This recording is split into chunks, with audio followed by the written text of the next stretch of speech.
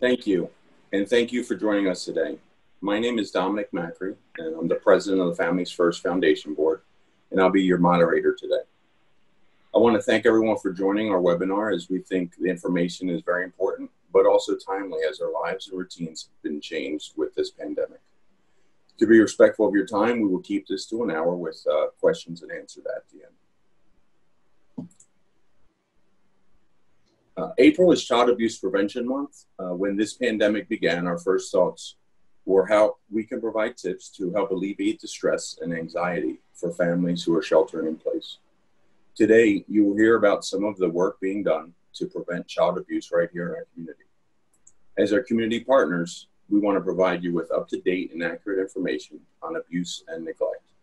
You will hear from two of our clinical directors, as well as our CEO, on the life changing work Families First is doing during the crisis. But first, let me introduce today's panel speakers. Uh, Julie Swindler is our uh, Chief Executive Officer. Andres Torrens is our Clinical Director for Behavioral Health Services.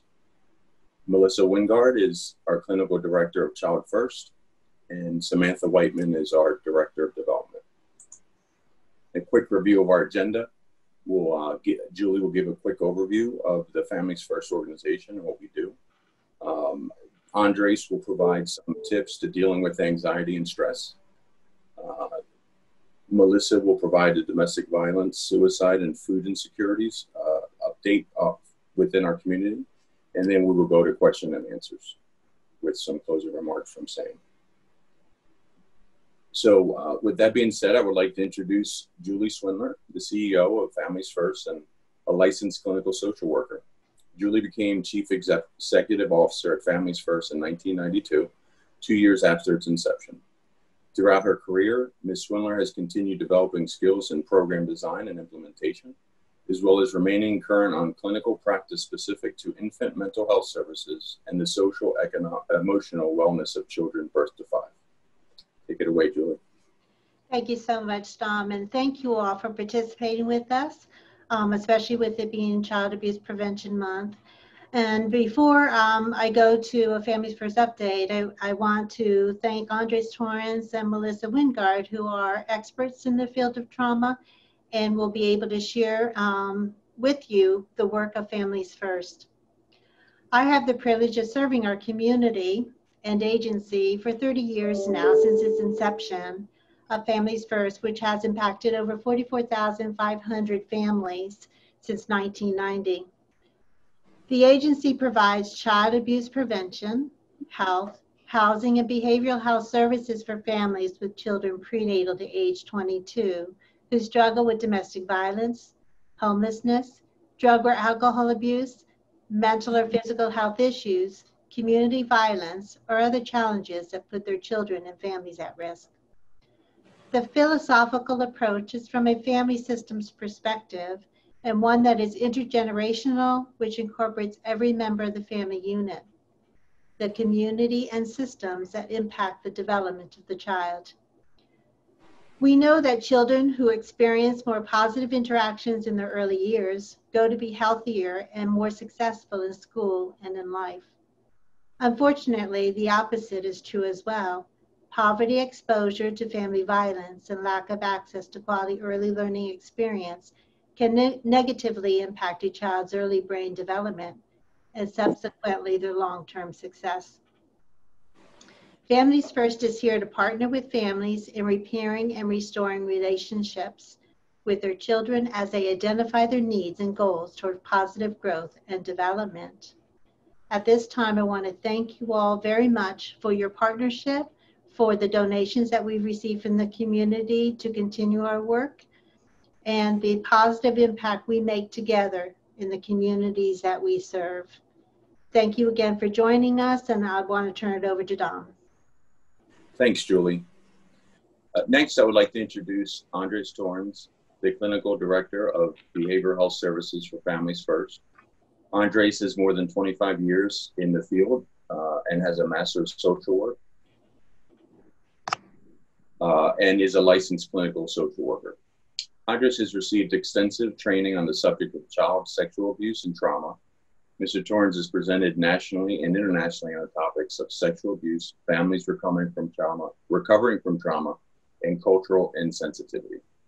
Thanks, Andres, for being here with us. Thank you, Dom, and thank you, Julie, for that uh, nice those nice words. So my job here is to introduce you a little bit as to um, how stress and anxiety is playing havoc on our families and on our children.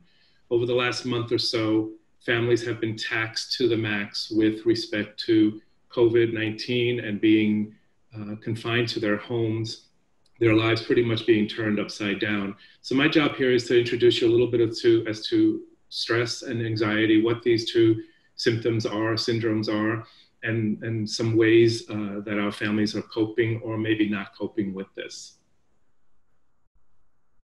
Next slide.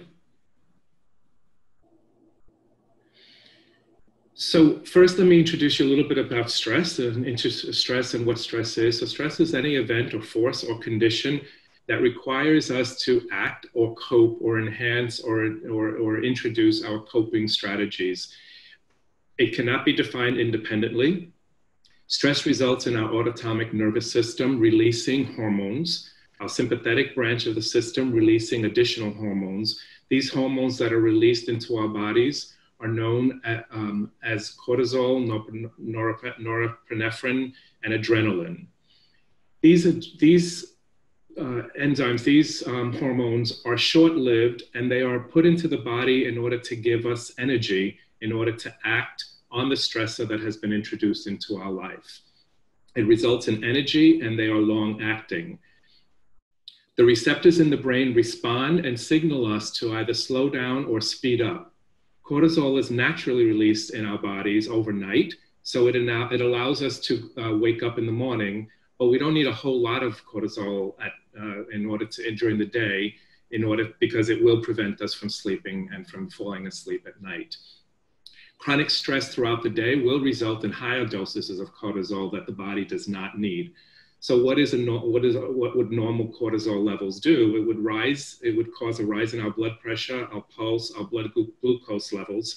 With individuals, I do a little bit of work with children with type 1 diabetes and individuals, adults with type 2 diabetes, and this plays havoc on their bodies with respect to their blood glucose levels.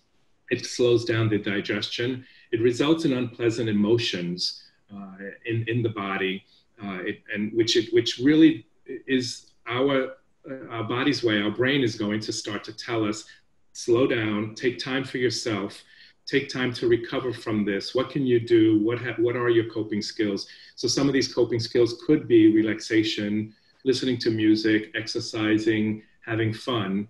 A lot of things that have been taken away from us or have not been thought about when it comes to COVID 19 and being quarantined. Next slide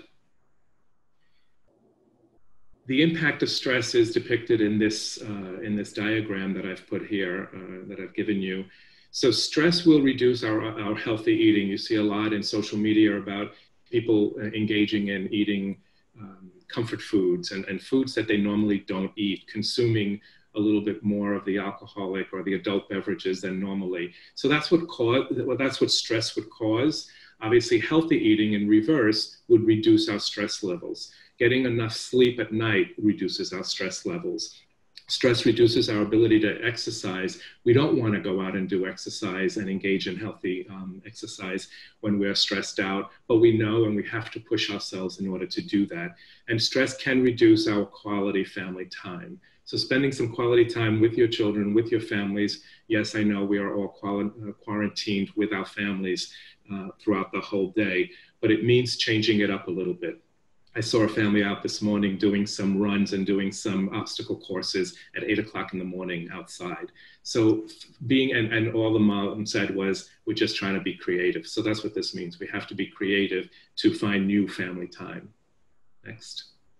Another slide, uh, this depicts the physical symptoms that our body endures as a result of stress. There's a, there's a host of different syndromes that sometimes doctors won't be able to identify. They won't be able to identify a cause for high blood pressure, for um, intestinal problems, for depression, for chronic fatigue.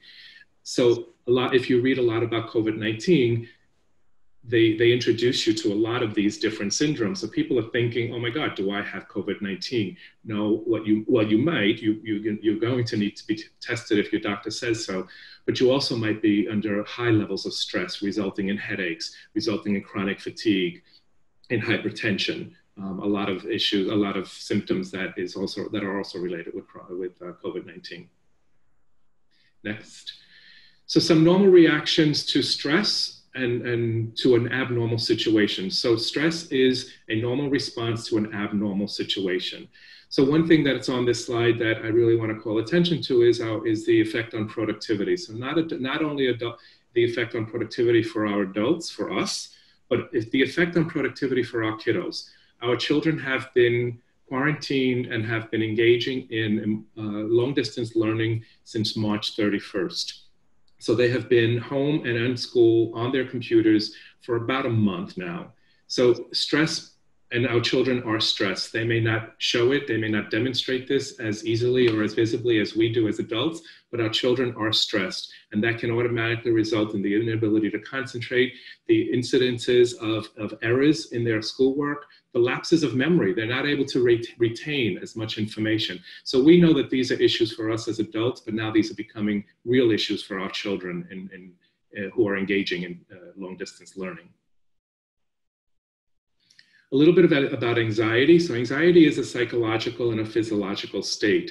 It is normal. It's a normal response to stress. Again, high levels of stress are not healthy for us as are not as are high levels of anxiety when when stress becomes overly overly you know too high in our bodies and our brains it's going to result in an anxiety disorder or in anxiety too much anxiety in our system will result in um, sorry you sped right wait sorry okay thank you uh, it is characterized by cognitive and somatic symptoms emotional and behavioral components and an uneasiness of fear and worry. Our children are worrying more than ever. They're worrying about what's happening to them, what's happening to the world. They might be hearing information that their parents are talking about or that they're overhearing on the news that their parents are listening to or their caretakers are listening to. So they are worrying. They are worrying about will I have food? Will I have a home? Will my parents be okay? Will my parents get sick? If they get sick and they die, who will take care of me? Our kids are worrying a lot these days. Next slide. Next slide. So the consequences of COVID-19 on families are an increase in stress and anxiety. It can result in some mental health symptoms. We are seeing that a lot of our families are experiencing increased bouts of anxiety, of depression, of anger outbursts, of impulsivity. Adult caretakers are engaging in more self-medicating with drugs and alcohol. And the problem with increasing their, their intake of drugs and alcohol is that the children are, are home now witnessing this. So they are witnessing that their parents are increasing the use of drugs and alcohol. And with the increase in drugs and alcohol, oftentimes comes the increase in violence and coupled discord and, and discord in the family, resulting in calls to law enforcement. With the increase in calls in law enforcement, our children are now being um, scrutinized, or they, they, they, we're seeing that the children are being traumatized in their homes by this uh, increase in fighting, increase in exposure to drugs and drug use and alcohol use. And there's no way out for these kiddos. They are home just like the rest of us. They are not engaging in play dates. They are not going across the street to a family, to a friend's house. They are staying home. So they are now being uh, witnessing all of this going on in the home. so what happened? Sorry, go back one slide. So it, what we have seen is we have seen a decrease in the number of calls to the child abuse hotline. They have decreased by 40 to 50%. This does not mean that the incidences have decreased. In fact, the incidences of child abuse and neglect have increased since, since the beginning of this pandemic. So why are they uh, not, why are the calls down? The calls are down because Typically, the people that call, make these calls are people that have their eyes and ears on the children, which are the teachers and school officials. So, being that they're not in school, the, the calls are dramatically down, but that does not mean that the, that the children are not being exposed to incidences of child neglect or child abuse in the home. Children we know are experiencing a, a high degree of stress and anxiety, just like parents, but they're going to look differently they're going to look that you're going to see that your children might start to regress. They might become needier at home. They might need uh, to be around you a lot more often. They might be impulsive so the older kids the, the, the adolescents and the teenagers might be engaging in more risk-taking behaviors because they're bored. They don't know what to do while they're home. So, um, unfortunately online predators are taking full advantage of the fact that our children are home on their computers. They're taking full advantage of that and trying to engage kids online any way they can, posing a great risk to our children. So, what is Families First doing? Families First is providing telehealth and teletherapy to our families. We are now the new eyes and ears in these homes. We are providing case management and teletherapy and telehealth to our families and providing it in a culturally sensitive way. Many of our families were not used to and are not used to communicating via technology. They're not used to communicating with someone on a computer looking at a, at a light or a camera which is on which is connected to their uh, computer. So we needed to introduce them to this technology to this new way of, of operating. This is going to be unfortunately or for a, a, new normal for many of us. So we had to provide this information, this psychoeducation to our families and to our teachers and faculty as well. The teachers needed to know what was going on with their children, with, with the children not paying attention, with the children not being on camera in the classrooms. So we needed to provide the same psychoeducation to school officials, to teachers, and we needed to and we started providing our families with vital resources we understood and, and learned very quickly that our families were not going to necessarily engage in teletherapy or telehealth services while they were hungry, while they needed the, the, the uh, concrete services, the tangible goods at home. So how are we doing this? We're doing this with, um, with my staff. Next slide. We have a staff of, of mental health professionals on our team. We have 10 therapists that are providing um, counseling and therapeutic services via telehealth to our children in schools as well as in the community. And many, most of our families, 98% of our families, have engaged in telehealth services, which is wonderful because they have not skipped a beat. They've actually encouraged us to continue to stay with them, to call with call them, because they are also um, going through a lot of worrying and a lot of fear over this pandemic. So I want to thank you for your attention, and I'm going to turn it back over to Dominic. Great. Thank you, Andres. Uh, I'm sure everyone can relate to many of the symptoms you mentioned in your presentation and likely are experiencing or witness, witnessing them as we all deal with this pandemic. Uh, as a reminder, if you have any questions, uh, feel free to send them in through the Q&A link on the top of your screen. Uh, I would now like to introduce Melissa Weingard, the uh, clinical director of our Child First program. Melissa is also a licensed clinical social worker and has a Master of Social Work uh, Melissa has exper- expertise in the field of infant mental health, early intervention, and child parent psychotherapy. Uh, maybe you should come over to my house and help me deal with my kids after this. Uh, she has also conducted training, uh, conducted trainings all over the state of Florida for clinicians and parent educators on infant mental health, specifically the areas of behavior observation, assessment with children under five, uh, early intervention, and social emotional development. Thank you, Melissa. Thank you, Dominic. I um, have been asked today to speak a little bit about some of the challenges that we are seeing in the field, some of the challenges um, that our families are exposed to, and the challenges for the workers who are going into the homes.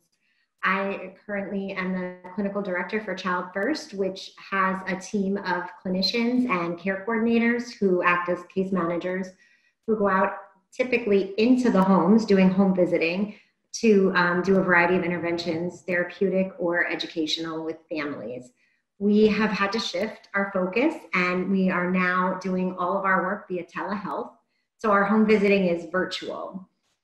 With that shift, we've noticed um, a big practice change and some very serious incidents and situations going on with our families. So I'd like to highlight a few of them and um, my staff's response to those issues in the homes. So today I'm going to talk to you a little bit about issues from the field. Um, our staff is no stranger to working with violence in the home. We have always encountered domestic violence as a social issue that happens within a lot of our, our homes and our clients. What with COVID 19, we are experiencing some barriers to service delivery, and we are seeing an exasperation and much higher incidence of domestic violence.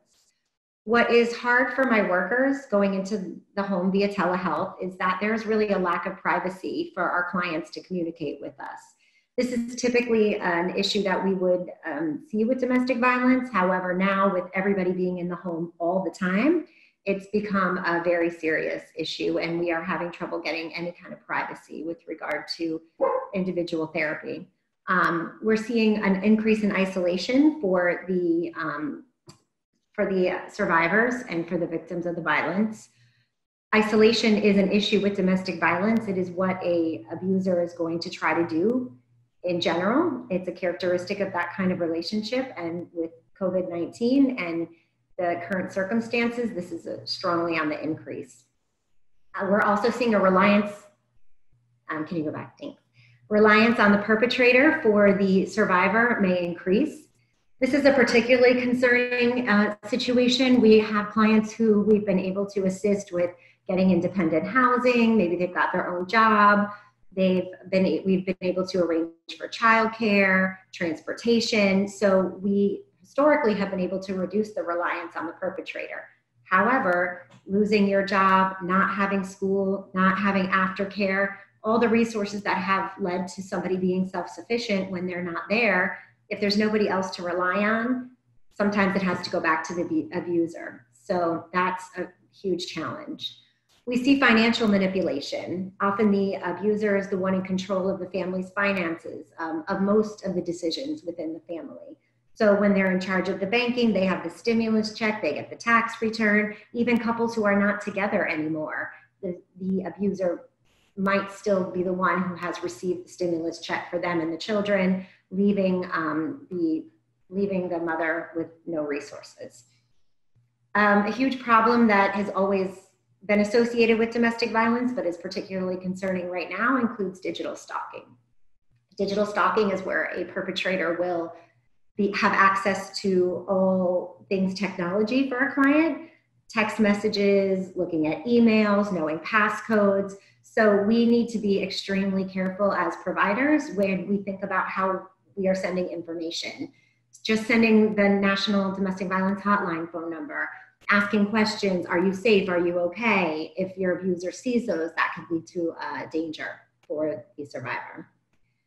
We are seeing a lot of circumstances where multiple families or families who have many, many family members are now quarantined together and they're not used to everybody being home all day. Some have lost housing, had to move in with their sister in law, had to move in with their brother, and now they're being exposed to violence that may be in other relationships within the family. So we have particular cases where um, children are being exposed to domestic violence from their aunt and uncle because the family has to live there. So they're stuck isolated in their room, can't go out into the kitchen, can't go out into the living room. Um, so there's many issues and barriers going on right now with our work with domestic violence survivors. Next slide. So how, how can we help these families? What are we doing? Um, my staff we are accepting phone calls at non-traditional work times. Sometimes we have to be conscious of somebody who maybe we have a particular client when she drives to the store at seven o'clock in the morning twice a week. She's alone. That's the only time that she's alone. That might be when we talk to her or check in with her. Um, and someone driving to work, driving home from work, taking the child to an appointment. If there's an opportunity where we might have a special ringtone that we assign to a certain client, so we're alerted this is an important call for me to take. She meant, you know, maybe now is when she can talk.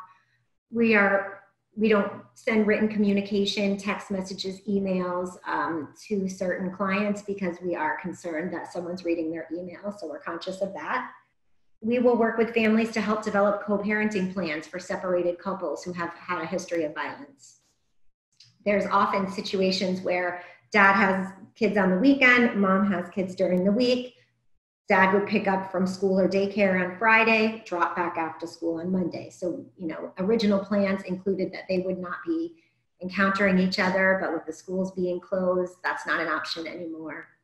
We'll help identify family members or friends who can assist with custody exchanges that might have been done through some of these public institutions, professional services, family court, public places were traditionally a good place to exchange custody. Not very crowded anywhere right now, so that safety and numbers thing is kind of out. So we've had to problem solve with some of this. We are providing social support through frequent phone calls and check ins. Someone who might have had one 60 minute individual therapy session with a, with a parent a week, that might be broken down into three 20 minute sessions so that we kind of spread out our response and we help to reduce isolation. It is important for us as providers to be updated on all local and national resources, including their availability, shelters, any kind of things that might get filled up and um, are not going to be able to help our clients, and also how to access them because a lot of access has changed through different virtual channels. What else can we do for our clients?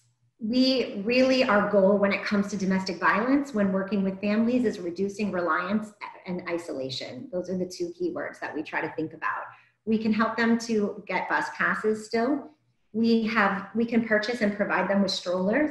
Just a stroller for a woman can be a lifeline having the availability to put the baby in the stroller and walk out the door when she needs to. Maybe even having that daily time to take a walk alone and to call us and talk. Domestic violence is not something that generally happens on the first date, even the first month of marriage. It is something that escalates and it runs and is cyclic. So helping families be, with us to be non-judgmental and just problem solve and provide safety. We can provide gift cards for food and hygiene. So uh, women who are not do not have access to the finances or who have been financially manipulated by their abuser, we can provide safety through some of some um, relief. Discussing emergency shelter, emergency hotel placements, um, and in extreme cases, sometimes we've had to do police well-being checks when we haven't been able to reach somebody. We can use a code word in session. We'll have certain women, if we speak and I hear her say the word avocado, I know that this isn't a time she can talk. Oh, Winn-Dixie was out of avocados today, change the subject. A code word for safety, something like that. Um, linked to virtual support groups, there are some places that are putting together virtual support groups for domestic violence. YWCA is one of them. So helping them to link to that to, again, reduce the isolation. Assist with childcare planning. There are daycares that are still open. There are not that many, but there are some. So helping with scholarships, enrollment, if that's something that's the safest way for a parent to work or do what they need to do. Um, discuss support networks, explore babysitting options that maybe they haven't thought of before within their own social system, system that are not related to their abuser. Something that's extremely important for uh, staff providing telehealth is to watch out for red flags in sessions you're on a video conference, if you're talking to a family via telehealth, noticing broken things in the home, a hole in the wall, any kind of broken, anything broken you can see. Um, someone who says, oh, I can't talk to you via video today because my phone was smashed, the screen is smashed, um, my phone is broken. That's a pretty typical one that alerts us to a red flag that we're going to want to ask more questions. Uh, abrupt conversation change when the presence of a certain family member. Domestic violence is not always husband, wife, girlfriend, boyfriends. There are, we have to be alert to all different patterns of adult relationships brother, sister, mother, father, grandparents, um, many, many, any relationships within the families that um, the adults have. We have one particular family where it's a sister in law that is the abuser in her family, and we have a client who has to live with her sister in law. So, different different things we, we want to be um, just alert and watching these patterns isolating in a bedroom kind of locked up shut into a bedroom wondering what's going on with that. That's a little concerning. Avoiding showing your face on telehealth. So if a client hey i can see the ceiling. Why can't i see your face? It's easier for me to have a conversation with you if we can look each other in the eye. Can i see you? Um, hmm, I, I can only see half of your face on the screen. So some things that are these are just red flags that we're paying attention to and avoiding sessions, especially maybe after we've had a serious conversation or spoken about something or had a disclosure of violence. Then not being able to reach somebody would be very concerning. So ensuring that my staff is mindful of red flags and patterns so that they can uh, um, ensure that my clients are aware of it. The cycle of violence is extremely important. It's not typical in domestic violence type relationship that every single day is full of violence and terror. It happens, but it's much more typical that you're kind of going around in a cycle.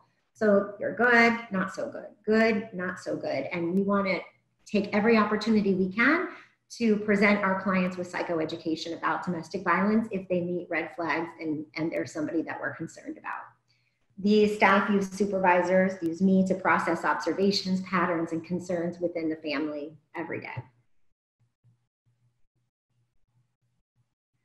The second issue that I want to talk a little bit about is suicidal ideation and the exasperation of mental health symptoms. With the country in general on a heightened state of anxiety, those clients that we have who have issues of depression and anxiety are particularly vulnerable. Next slide. So generally, if we had a client who was staying home, not taking their kids to school, not going to work, not going to the store very often, saying no to social contact, avoiding people, we would feel concerned. Those are signs of depression and isolation and loneliness. And that is what the country is doing right now. So, those people who have a, pre existing condition of depression and anxiety are particularly vulnerable, and their mental health is at risk with all of this isolation. Um, staff, my staff are seeing an increase in psychiatric hospitalizations for our parents who have a history of depression. We, um, in the past six weeks, we have had a few Baker Acts of clients, so um, suicidal. Um, we've had a few parents who we had to call mobile crisis out to do an assessment to check on their well-being and make sure that they didn't meet criteria to be hospitalized. So being very aware of the parents' health and what's going on with them, because that is really the only way that we can ensure that the kids are safe. Some issues that we're having in the field when it comes to mental health, we have a lot of clients who don't have insurance. They don't have insurance, and so they can't qualify for a lot of the telehealth uh, programs. They, there are families and um, parents who were able to afford copays or sliding scales for therapy previously, but now with this epidemic, their financial circumstances has changed and it's no longer something that fits into the budget. So therapy is the first thing to go. There are a lot of public mental health facilities who are not accepting new clients. Um, they kind of put a hold on taking new clients while they got a handle on the ones they already had, or they have wait lists for therapy. Sometimes our caseworkers are referring for therapy, and I hear they're not able to reach someone to follow up, they're not able to reach someone to share information, they're kind of getting lost in cyberspace. So, issues with intake virtually for a lot of agencies. Um, some of our clients just have a strong resistance to telehealth, to teletherapy. It doesn't feel natural, doesn't feel right, um, it's not going to help me. So, they're just not doing it. Uh, there's a huge concern because a lot of our trauma victims are really re traumatized or triggered by this pandemic. When you felt unsafe in the past and now you're feeling unsafe, even for a different reason now, it's going to give you a trigger and a reminder, and that's kind of an exasperation of symptoms. Staff response. So we, what can we do who we are providing therapy to the children and and parents. Uh, we are doing increased screening of the parents, formal and informal screenings. We have um, suicide depression index. We can apply those in a session if we have privacy, if we have time. If we don't, we just ask, do an informal assessment. We can work with safety planning, making sure there's no weapons in the house, finding out who else lives in the house, who can you talk to, what if you feel this way. Here are some phone numbers, here's a suicide hotline each person developing their own individual safety plan. We are often looking for an emergency contact information for our parents. We generally view our client as the child, so the emergency contact is the parent. But if the parent is the one that we're concerned about their health, we might ask for an additional emergency contact that we can contact regarding them. We can do more frequent phone calls and check ins with our vulnerable clients outside of session or divide the time, as I spoke of before, and do more, more frequent, shorter sessions. The number one thing that I encourage my staff to do the best and most effective intervention is to talk about it. You have a client who has a history of suicidal ideation, who has a history of self harming, check in. Don't be afraid to ask the questions. Next slide. So the third issue that I'd like to talk about that's really um, a huge deal within our community is food insecurities. We have often had families that we work with that had food insecurities, that money was tight and groceries were tight. These families could get meals at school um, and maybe had more access to food in the community in their grocery store. Um, we have a lot going on when it comes to hunger in the county. And what we're seeing, there's a loss of work for those in the service industry, a lot of our restaurant workers, a lot of our farm workers, house cleaning, hotel service, a lot of layoffs, and the people just aren't, they're not getting their house clean. They don't want someone coming in. That cash is not being paid out. Many of these employees are paid under the table. They're not going to qualify for unemployment. Their taxes aren't accurate. So a loss of cash income is a huge deal. A lot of our clients don't qualify for public assistance, and some of them don't qualify for a tax refund or a stimulus.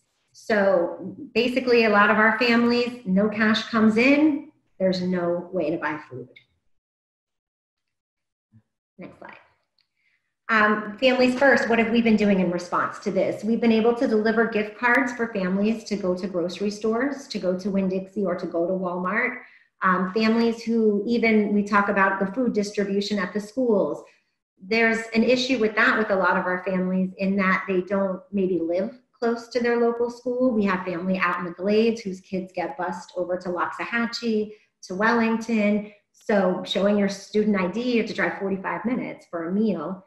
Um, there's also some that don't live close enough to the school to take the stroller and walk over there or take five kids and walk over to the school.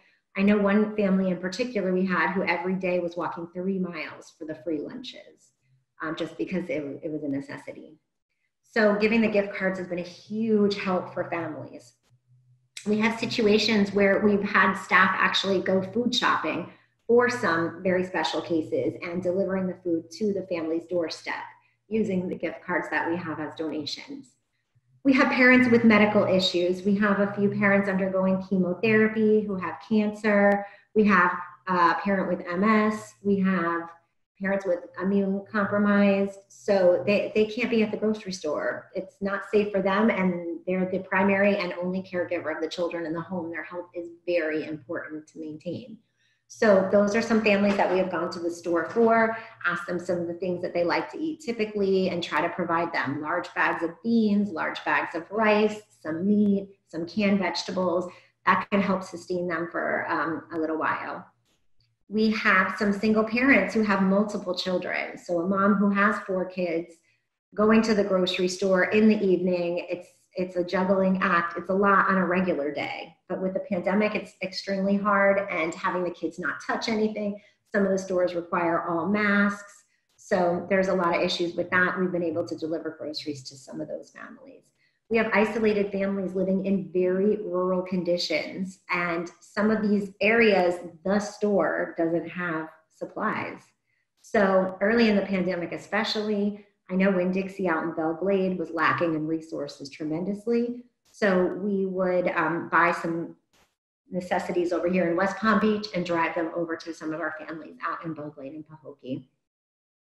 Families that have a lack of transportation, again, to be able to get from a very rural residence in Belle Glade to the store is already something that takes a long time. And when the store doesn't have anything, it's been a wasted day. So that lack of resources in the western part of the county has been a big issue that we've been tackling. Uh, we are assisting families with online applications for food stamps, unemployment, child care, or emergency cash assistance. Families who maybe didn't qualify for these types of assistance before or didn't want them, they're now at, back against the wall needing the public assistance. This is for those that are lucky enough to qualify for such funds we have to help, as um, Andres mentioned, a lot of our families might not be so tech savvy. So we have to help them even create an email address and learn how to navigate all these systems virtually. There's a lot of families of grandparent caregivers or rural where they, you know, their response is to go to DCF, go to WIC in person, apply for things. You can't do that anymore. So we've had to teach them a whole new way of accessing um, services. I think what it all boils down to at the end of the day for all the workers who are out in the home and out in the field is that each family needs individualized help. Each family has unique issues that they might not tell you the first time you meet them over a phone face to face. So, taking your time, getting to know them, watching for red flags, asking the questions, and creating individualized support plans for each family is the key to helping families through this pandemic. Thank you so much. Thank you, Melissa. Uh, I think both yours and Andres' presentation really shows how people in our community are experiencing this pandemic extremely differently. You know, some people have the resources that they can get through it without having any issues, uh, whether it's a car or finances, um, or, or, there's a lot of people that don't have the resources that really need help and assistance during this time because, um, as we know, there's a, a, lot of the funds that are, are, being sent from the government are not getting to some of these folks until May. Uh, so it's it's a long time from when this first started to now. Um, and you provide a lot of great uh, warning signs for us to take a look at and make sure we're, we're cognizant of those things uh, within our family and, and as we interact with uh, other family or friends uh, via Zoom or FaceTime and things like that. Um, if you do have any questions, feel free to uh, submit them now. We did have a few questions that Andres was kind enough to, uh, to tackle. Um, one of them was, uh, how do you get our services if you need them? And so, Andres, would you like to answer that for the for the overall group, just to let them know? Sure, thank you, Dom. So uh, many of our services, we, we have some very generous funders uh, and donors, and, and the funders allow us to provide services that our clients do not have to pay for. So if they qualify for services by being a youth, by being a child, so we, we work primarily or most with children and their families, so they can come under one of those categories. We accept Medicaid, so we, we can accept a child that has a Medicaid plan that we accept but if they don't, if we don't accept their Medicaid plan, we can put them under one of the other categories or one of the underfunding streams. We also we have um, the Child First program, which which receives referrals uh, through through the Healthy Beginning system, and, and Melissa can address that as well. But they simply, you know, will call our number, our main number, or go on the website and send an email through the website to one of the programs to, and, and ask a question that way. And I will I will get that email. I will get, it will come straight to me, if you go into the behavioral health tab on the on the website. Okay. Melissa, did you want to add anything or did Andres cover everything? Yes, the Child First program, the um, way to refer to Child First is to call the county helpline for children at 211 or to reach out to Home Safe or um, Healthy Mothers, Healthy Babies and ask for a referral to Child First. That's the program that has a care coordinator and a therapist come into the home, and the children need to be five and under to qualify for the Child First program. Great. Now, I know that we have a very diverse staff, and they have uh, not only talent from a uh, caregiver or a provider perspective, they also are multilingual. What um, what uh, languages do we are we able to uh, help with or uh, participate for clients? So for so the we, Child First program, the, the services can be delivered in Creole, English, and Spanish. Okay, great. I was just going to add that our we have you know one of the most diverse staff um, you know, in, in many agencies, and so we're very privileged to have staff that speak multiple languages, so English, French, Creole, and Spanish, and uh, we're able to meet the needs of many uh, many families of different cultures and, and languages. Great. Another uh, question just came in. Uh, is Families First getting more calls for assistance recently, or is social isolation resulting in fewer calls for help? I think for Child First program, we've had a steady flow of referrals. It's not overwhelming, but um, I think we have a few families a week being referred for the um, Child First program overall in Palm Beach County. Andres, do you want to add any? So yeah, they, so um, our families who we've been working with have have um, they, they have a lot of trust in us. So they have they have reached out to us. So the social isolation hasn't prevented them from reaching out to us for assistance. However, families who have not been linked to us yet don't know us as well. So they, they, there may be fewer calls coming into us, but they're, they're, those calls are going into local churches or other local um, donors in the community who are then reaching out to us. So they, they are putting these families in, in contact with us indirectly. Great. Thank you for answering that. Um, there was a question about uh, a copy of the slides. We will pro provide, uh, this is being recorded, so we'll send a, a, copy of this presentation out to the email list as well as some additional information about Families First.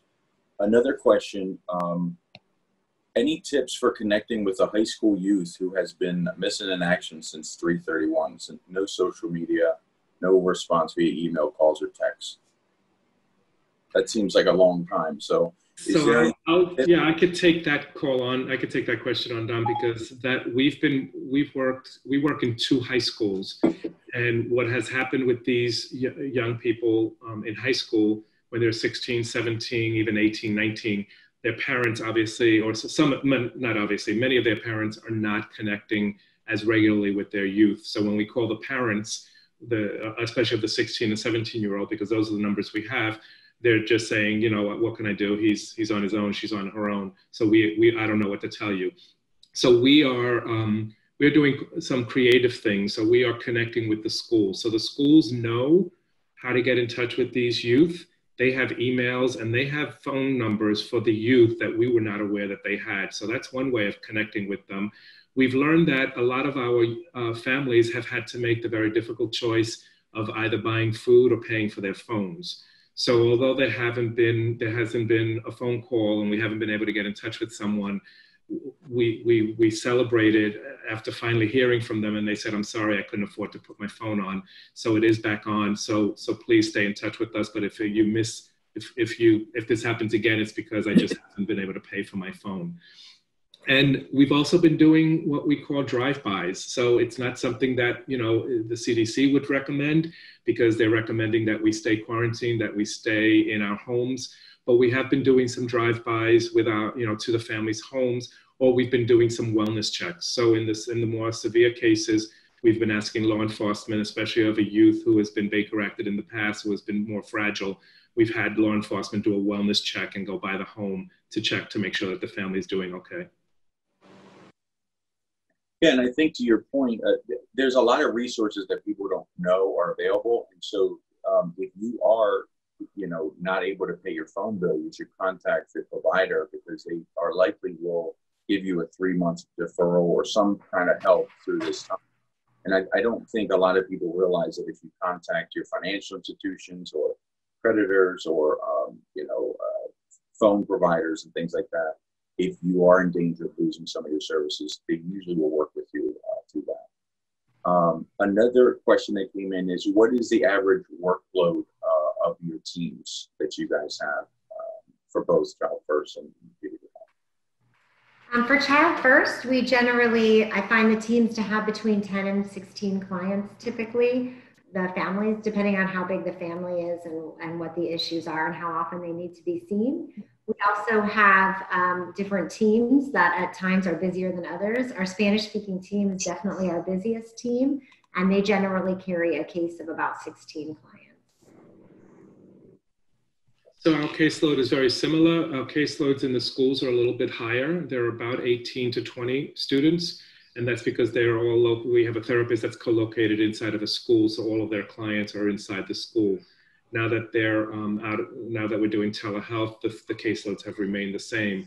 So we've we've pride ourselves on maintaining low and very manageable caseloads because we we really do stress the importance of not overwhelming our staff, uh, of not uh, in, in unethical ways taxing our staff and, and causing an inability to reach out and to stay in touch with our families. So we pride ourselves on maintaining those relatively and very manageable caseloads so that they can stay in constant contact with this with their clients. That's really important. No. um, in addition to that, kind of a piggyback to that question, someone asked, you know, a lot of uh, the staff is themselves are obviously being quarantined or are family members or, or parents, you know, caregivers, things like that. Um, how are they taking care of themselves from both a physical and a mental health perspective? Um, I think self care is a huge topic of uh, supervision with me, with my staff. Um, each of my staff members receives three hours of supervision a week. That's uh, one hour of individual supervision, one hour of team, where the case manager care coordinator and the therapist are together with me. And then we do an hour as a full group. There, we also have an open door policy in my program where the staff can call me anytime if they need to discuss anything. Um, Self care is certainly a topic that I cover each week. Um, we're encouraged to use sick time if we're not feeling well, or um, if you feel like that you don't feel good and you can't deliver sessions. We problem solve sometimes um, to do some paperwork one days, limiting the amount of telehealth sessions you're going to have in a day. So, um, really, not having more than four or five therapy sessions via technology during a day would be my suggestion, balancing that with paperwork. Um, so it's a topic we're constantly covering. Andres, did you want to add anything else on that? No, she, she put it very well. We, we, we are staying in touch with our, our staff and we are providing our staff with very similar information that we provided here. So we recognize that what our clients are experiencing, we are experiencing. It's a parallel process. So we're encouraging our staff to also take care of themselves, to reduce their stress levels in their home, to engage in healthy um, activities whenever possible with their family and when they need the time to, to, to ask us for some time so that they can do something other than staying in, in the house quarantine doing work. Yeah, I mean, I, I, I've been involved with the organization for a long time, so I know how important our staff is. And they're basically the, the, the cogs in the wheels that make everything run. And they do such an amazing job. So we thank them uh, for all of us uh, to, to, let them know that we appreciate everything they're doing. Another question that came in is, you know, uh, there's a lot of collaboration that goes on within the community uh, with referral back and forth between agencies. Is that something that's still able to go on when everyone's so socially isolated? So we are we are continuing to get referrals from our partners. So we are we are continuing to partner with the Achievement Center down south in South County. We are continuing to partner with Boys Town up here in the north part of the county, out in uh, out in the glades with with different organizations out there. So we are we are staying actually in more constant contact with these agencies uh, to help whenever however we can, and then we're also asking for them asking them for some help whenever whenever we need it. So we are staying in touch with them more regularly than than ever before. Great. Um, another question that came in, I think um, that'll be the last one, possibly before we move on to Sam's uh, final uh, comments. If we did receive fund funding now, and I, I think I know where you're going to say this is going to go. What, where would, where would you direct the funds uh, for the most important needs within our community right now. And I guess both of you have maybe focuses for each of your programs that you'd like to touch base on. Uh, Andres, do you want to take it first? So if you know when donations come in, you know where this this this is always this is going to be a distant memory. Hopefully, very very soon, and our families are going to get back to a new normal, and they're going to get back to a normal way of living and what they're going to be faced with is back rent, back bills. And so we're going to need, I'm sure that our families right now, they're, used, they're looking for concrete services in terms of gift cards, et cetera, to buy food. But eventually they're going to need funds for uh, rents and mortgages to, to avoid eviction and avoid being, being losing their house, losing their housing. Okay. And Melissa? I would agree. I think Sam has uh, some good ideas when it comes to donations and how we can best help our families. Great. Yeah, I think um, in general, the way I try to explain to people when we are uh, in these situations, or just in general, is if you uh, don't have the basic needs like food, shelter, and, and clothing, um, you really don't you can't concentrate on anything else. Uh, so it's hard to concentrate on your mental health if you are worried about you know, getting evicted or not having enough food on the table. And I think there's a lot of studies that show, you know, if kids don't have enough food, they can't concentrate in school or learn and things like that. And I can't imagine the distractions that the kids are having right now, trying to do online school when Wi-Fi might be spotty, if you have Wi-Fi, uh, as well as just the chaos that goes on within within their house when you have all those people in there. Uh, well, I just want to thank you guys for the presentation and answering those questions. Um, I, the next slide is going to give some information about um, some of the key contacts within our community. Um, I think everyone knows 211, but some of the other numbers are really important as well. And they'll be on the uh, information that, that, we send out after this, um, after this presentation. And then uh, we will close the webinar with, with Samantha Whiteman, uh, the Director of Development for Families First, uh, just to explain how, if you're interested, you can help uh, and move and get more involved. So thank you. Dominic, yeah, Dominic, thank you uh, for being our moderator today. Uh, I would also like to thank Melissa and Andres for giving us two eye-opening presentations. If you heard something today that you would like to learn more about, we would be happy to share additional information with you. You will receive an email from me uh, after this webinar with my contact information and other details.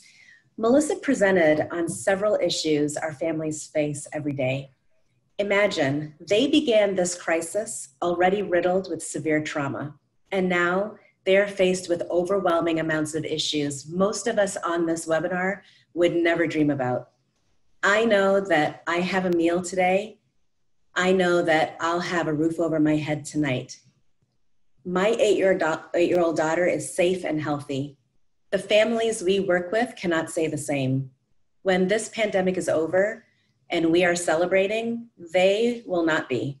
They will be faced with utilities being shut off, like Andres mentioned, uh, for lack of payment, and possible evictions from already rundown rentals.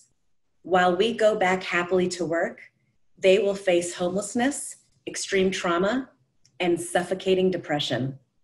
How can you help?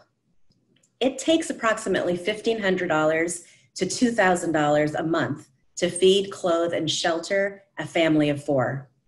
So you can help by donating gift cards to Walmart, Publix, and Winn-Dixie and the cards can be mailed directly to our office. You can, you know, we always welcome cash donations, of course, and you can visit our website and make donations online. For those of you interested in joining a committee, email me and I can share different opportunities we have.